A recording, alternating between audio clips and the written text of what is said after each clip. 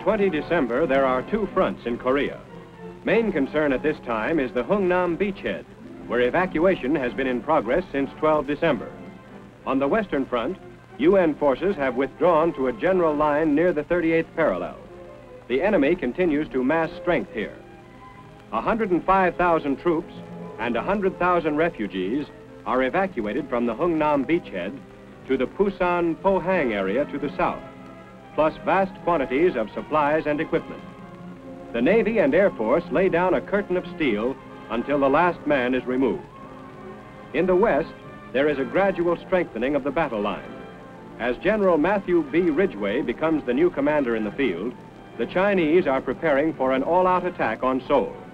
It comes on New Year's Day. The Allies abandon Seoul on 4 January. With the entire UN line pulling back, the Chinese suffer 10 to 1 casualties but continue to push south with overwhelming odds. The Navy evacuates thousands at Incheon. On 9 January, the railroad center of Wonju falls. By this time, UN forces have withdrawn 60 miles south of the parallel. Here, a relatively stable situation is set up, although no definite line is drawn. From the 9th to the 20th of January, there are few gains by either side the city of Wonju exchanges hands several times in bitter local engagements. Air action continues to harass Red concentrations. Both sides have paused to mass strength for the crucial battles impending.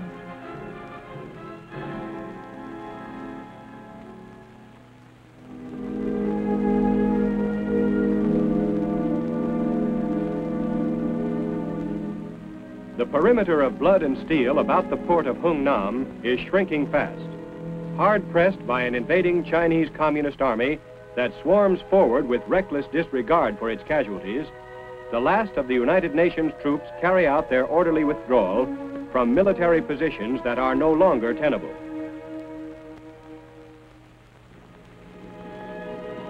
The delaying actions which have exacted such a high toll of the pursuers are finally drawing to a close. Most of these men who have stuck it out until the last hours before boarding the waiting ships are elements of the 3rd Division.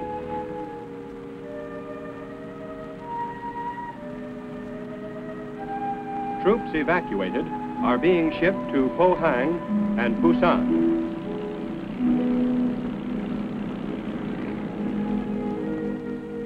A nitrate factory smokestack is blown up by an engineer demolition team to prevent its use as a landmark by the Reds to pinpoint vital targets in the beach area.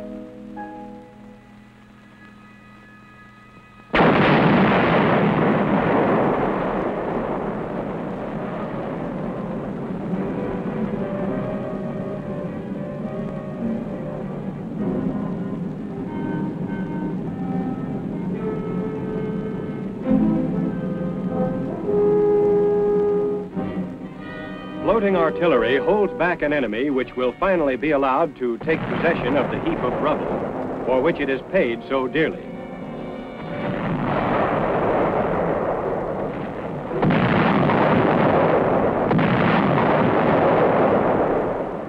Tons of demolition charges are lowered under the piers and pilings that line the harbor front. It will be a long time before the occupying enemy troops will be able to put these harbor facilities to any good use. Around the warehouses on the docks, engineers lay out a hose that is filled with TNT.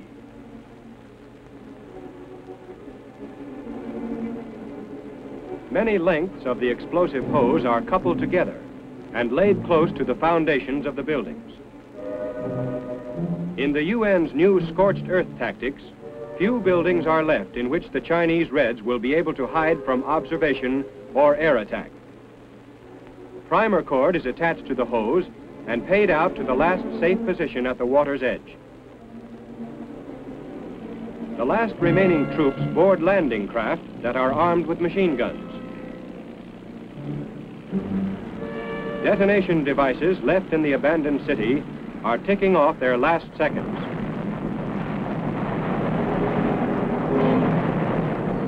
An ammunition dump goes up thundering and crackling as it illuminates the sky with a spectacular display of fireworks.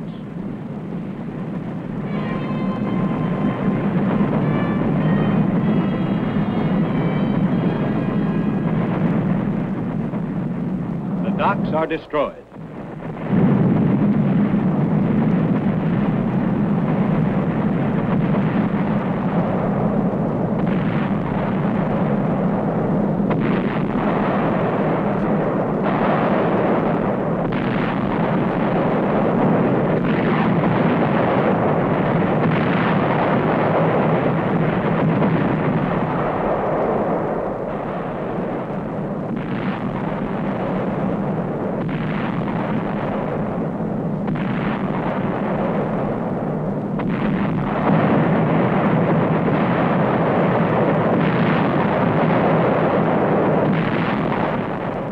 The remains of Hungnam are left to the enemy.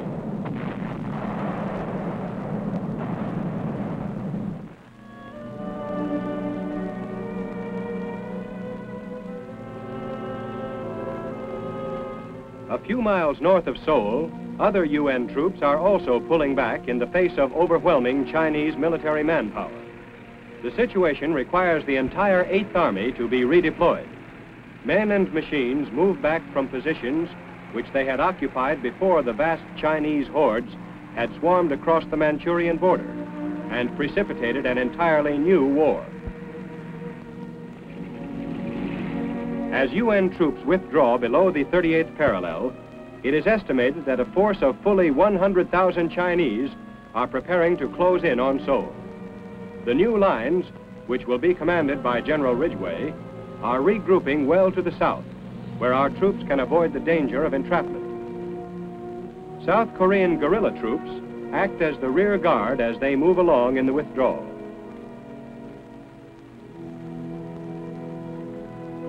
The once proud capital city of Seoul is soon to be occupied by the enemy. Its last remaining inhabitants are frightened, discouraged, and depressed during a Christmas season in which the words peace on earth, goodwill toward men become a mockery. The Far East Air Force Combat Cargo Command takes on a mission of mercy. At Kimpo Airfield near Incheon, a precious cargo is assembled for evacuation from battle-torn Korea. Nearly 1,000 Korean orphans and waifs of war are taken aboard C-54s for transfer to an island refuge off the South Korean coast. Aged six months to 11 years, these helpless victims of war were to have been settled at a model child welfare center in Seoul under the direction of Lieutenant Colonel R.L. Blaisdell, 5th Air Force chaplain. But with the fall of Seoul now imminent, they are hurried off by air to a sanctuary far from the scene of any future hostilities. With the help of Red Cross, YMCA, and mission officials, the youngsters were gathered up from many points in the war-torn nation. The tiny passengers, many of whom are suffering from starvation, whooping cough, tuberculosis, and other serious illnesses, are cared for with special tenderness by the airmen and nurses. Last-minute evacuation by air is necessary because a Korean ship, which was to have removed the children from Incheon, failed to make its appearance.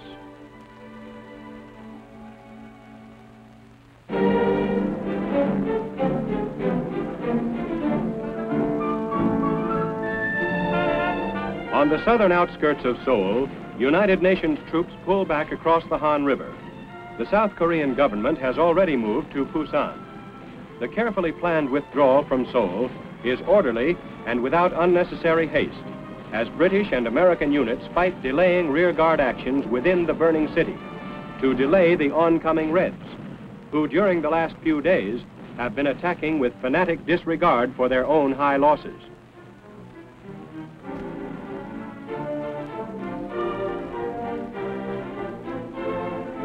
A section of a ponton bridge is dismantled after the main body of troops have crossed in that area. Whatever is usable and readily transportable, the troops take with them. There will be other rivers and streams to cross.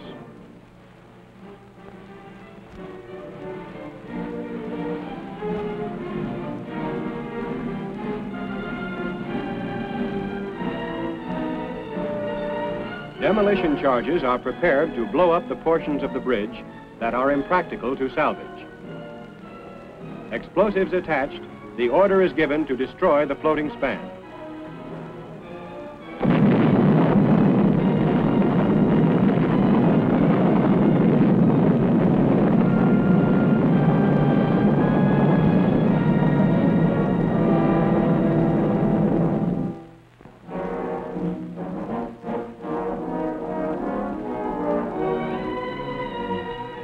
Incheon, the seaport for Seoul, is evacuated.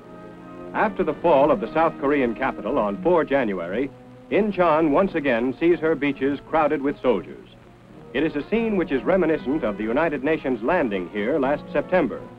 But this time, the situation is more grim. Incheon has been isolated by the Chinese advance through the abandoned city of Seoul, and the communist reoccupation of Incheon is expected within a few hours.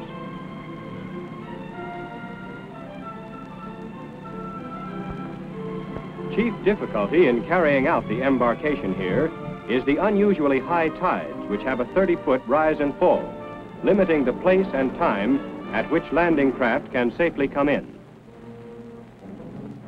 When UN troops, spearheaded by the 1st U.S. Marines, landed here on 15 September, the approaching end of the Korean War was hailed. But then the Chinese intervened to bring about what General MacArthur described as a totally new war. The final outcome of this new phase in Korea is still in doubt as UN soldiers retrace hard-won steps along the roads and sea lanes to Pusan. Throughout the evacuation, the United States heavy cruiser Rochester stands by in case the Chinese should appear before they are expected. The evacuation is to be completed by midnight. As the landing craft pull away, the island of Wolmi stands in the background, patched with snow. When the Marines had made their landing last September, Wolmi Island was the beachhead for the first wave of assault boats. Now Wolmi is the last coastal landmark the troops see as they make their reluctant departure.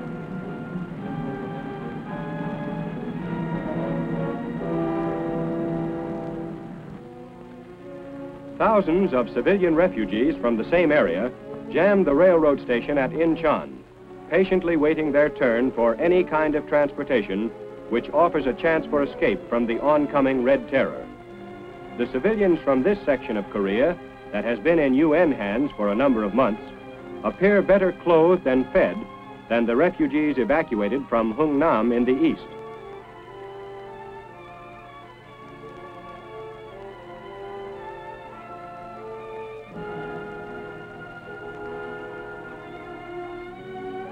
The patient and enduring populace prayerfully waits for a chance to ride on something, anything that moves. Compared to walking day and night over the icy ground, a freight car is luxury travel. The harbor area is equally crowded with fleeing civilians. These refugees are the families of the factory workers or the families of dock workers.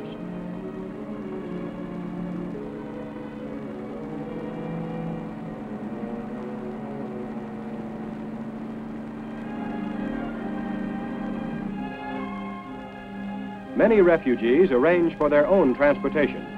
Fishing boats and freighters are pressed into service. The fare is 10,000 won, or about $30, for the 36-hour sea journey to Pusan.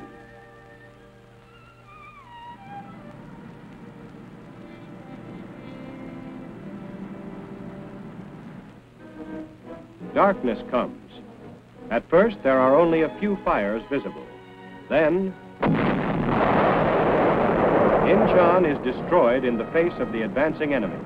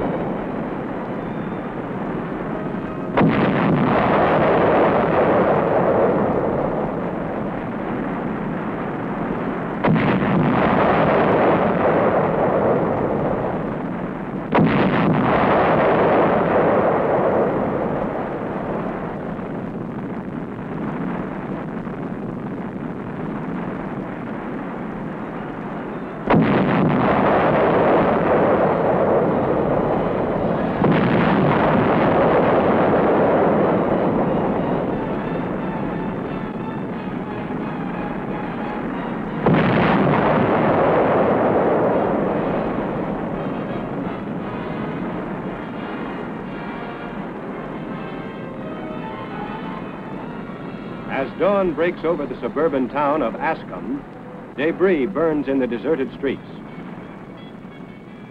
This is the site of a former arsenal.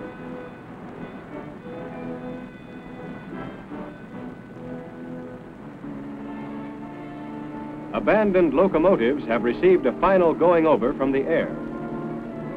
Kimpo Airfield, 12 miles inland, lies in smoking ruin. Typical of Incheon's total devastation are the locks which once protected its tidal basin.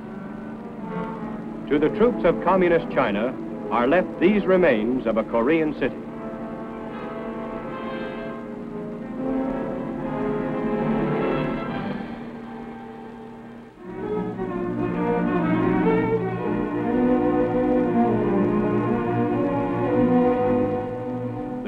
Trek southward goes on by land as well as by sea.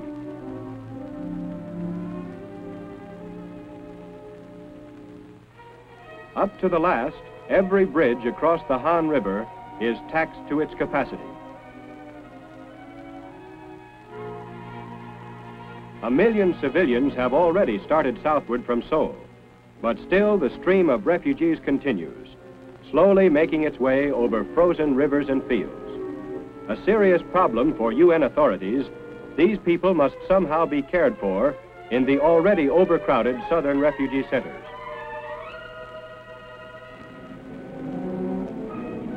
Farther south, near Suwon, British Commonwealth forces of the 29th British Brigade moved to new defense positions in the course of the general redeployment of all United Nations forces.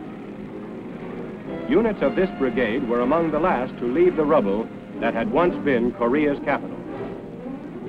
On its way back, the convoy passes the rusting skeleton of a Russian tank, one of those knocked out during last year's UN offensive. North of Suwon, U.S. forces, supported by tank units, prepare to dig in to fight further delaying actions in support of the redeployment. By holding the Chinese forces at bay from a series of selected defense positions, the 8th Army's withdrawal from above Seoul is successfully completed with extraordinary order and precision.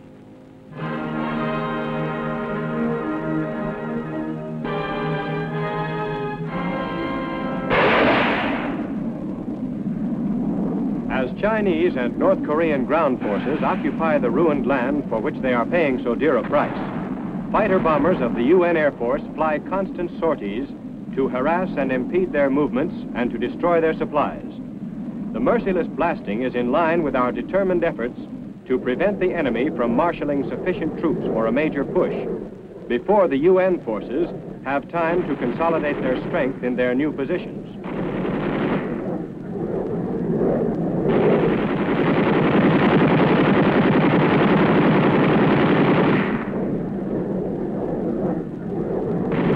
Enemy strength that was to have been pitted against the outnumbered UN troops disappears in flashes of flame and puffs of smoke. After identifying their targets, our planes swoop down like avenging shadows of death and destruction.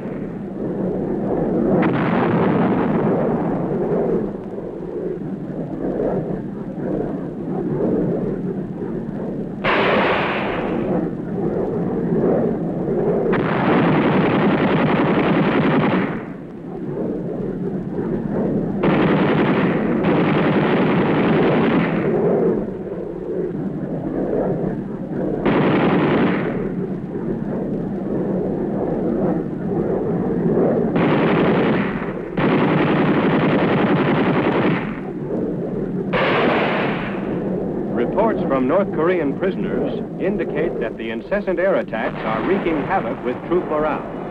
The enemy is kept off balance and prevented from holding the tactical initiative.